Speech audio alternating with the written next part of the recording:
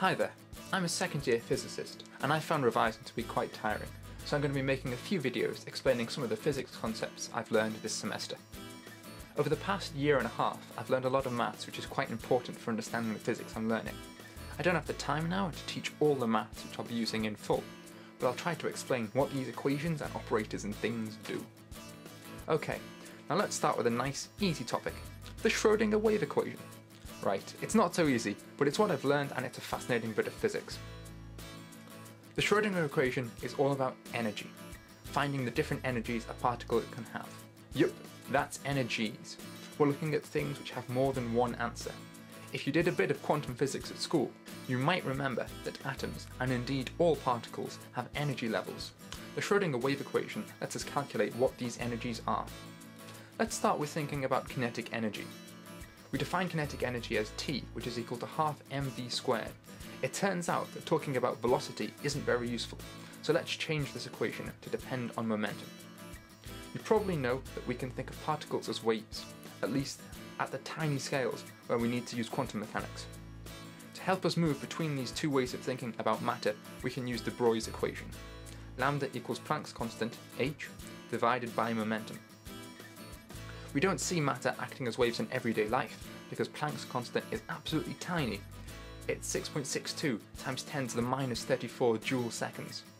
So the wavelength of a human walking would be about a billionth of a billionth of a billionth of a hundredth of a millimeter. However, de Broglie's equation is useful for minute particles like protons and electrons. So let's rearrange for momentum so we can put it into our kinetic energy equation. It's going to be useful to talk about h bar and the wave number instead of h and the wavelength. h bar is the reduced Planck's constant, h divided by 2 pi. Physicists use this to avoid having all sorts of 2 pi's wandering around in equations.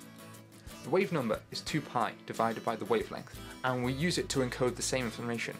It just turns out to be easier to work with, as we'll see. We also know that k is going to change depending on the energy. Remember seeing an electromagnetic spectrum at school? You've got visible light around the middle, high energy, low wavelength gamma and x-rays at this end, and low energy, high wavelength radio and microwaves at this end. Since k depends only on lambda, it's going to depend only on the same things lambda does, in this case energy. Okay, this is our new kinetic energy equation. Notice that in any given problem, these bits are constant, however this bit changes. We'll come back to this in a minute. For now, let's look at waves. We use wave functions to encode information about waves. These are just equations which have a few special properties. Generally, we call our wave functions psi, and they look like this. This may look a bit scary, but bear with me. This e to the i thing is actually just a different way to write sines and cosines. And waves are just combinations of sines and cosines. The reason we write the wave equation as this is because of this nice property of e, which means that if you differentiate it, you get the same thing multiplied by the differential of the argument, this bit, like so. So if we differentiate an exponential, we get the exponential back and we generate this other term. We can do this again and get another factor out. Now we've pulled the k squared term out of this exponential, so you might see where we're going with this. I'm just going to make a few points about what we just did. This type of problem is called an eigenvalue problem. We say that this is an eigenfunction of this operator. An operator is just something that you can use on a function to make another function. So this would be a doubling operator applied to the function y. Eigenfunctions of operators are functions which return themselves and an eigenvalue after the operator is used on them, like this. The bit extra is the eigenvalue. Knowing what we do now about eigenfunctions and operators, let's make a kinetic energy operator. We want the energy, E. We're going to assume that there's no potential energy, only kinetic energy. We know there's a bunch of answers, so we're going to use our wave function to generate those answers. We also know a way to generate a k squared. We appear to have a problem here, the d is no longer straight. This is actually a partial derivative instead of a total derivative. This just means that there's more than one variable in the function, but we treat it as a constant when we're differentiating. We also need to account for the minus sign. And that's it. Well, sort of. Here we have the time-independent, one-dimensional Schrödinger equation for a particle which is not in a potential, or 1D TISE in free space, for short. Let's try and make this equation more general. Fortunately, we've done the hardest bit. Let's deal with the time component first.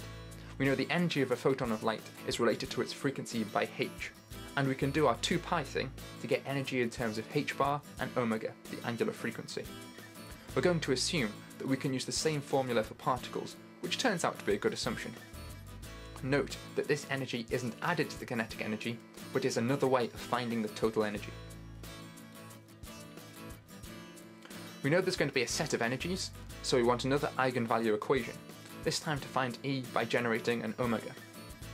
If we have another look at the wave function, we can see an easy way to generate an omega, use a derivative with respect to time to pull it out. This time, we only need the first order derivative, but we do need to account for this minus i term, so let's add an i to this operator. And that's equal to the equation we had before. There's still a problem with this equation though. It's only in one spatial dimension, whereas we may need to consider all three. This is surprisingly straightforward to do. The three dimensions, in Cartesian coordinates at least, are orthogonal. That means they don't interfere with each other. For this problem, we can think of the different kinetic energies, each contributing to the total energy separately.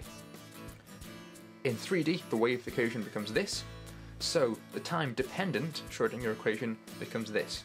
We can simplify by adding the Laplacian, which is an operator which adds the three different second differentials. Finally, we need to add any terms due to any potentials the particle might be in. We call the potential V, and V can depend on any combination of x, y, z, and t. But this potential varies from problem to problem, so we just add the general form into the equation. This new operator is called the Hamiltonian, h hat, and is equal to t plus v. If there's no potential term, v equals zero, and we recover the free space result. Now we can write the full Schrödinger wave equation.